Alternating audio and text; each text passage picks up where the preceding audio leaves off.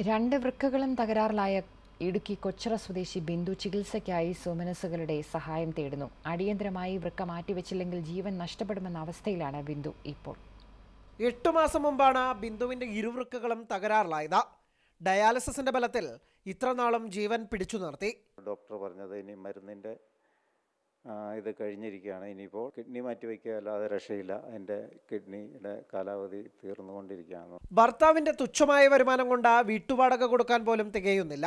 എനിക്ക് ക്ഷയത്തിന്റെ രോഗം വന്നിട്ട് ഞാൻ ചികിത്സയിലായിരുന്നു. അതിന് ശേഷം ആ, എനിക്ക് കട്ടിപ്പണിയൊന്നും ചെയ്യാൻ പറ്റാത്തതിനെ തുടർന്ന് ഞാൻ ലോട്ടറി ബിസിനസ്സായിരുന്നു ചെയ്തുകൊണ്ടിരുന്നത്.